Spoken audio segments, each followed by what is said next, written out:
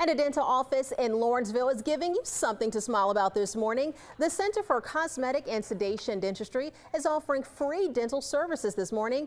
It's a first to, on a first come first serve basis and people have been camping out all night. They're offering services like fillings, extractions and cleanings all for free. Nooredin says every year she sees the need to grow the community. Well, 13 years ago, when we started, it was just a, a, sm a small project of giving back to the community. And uh, it's grown from there. I think the first year we saw maybe 100 people and we were ecstatic. This year we'll probably see over 300 people.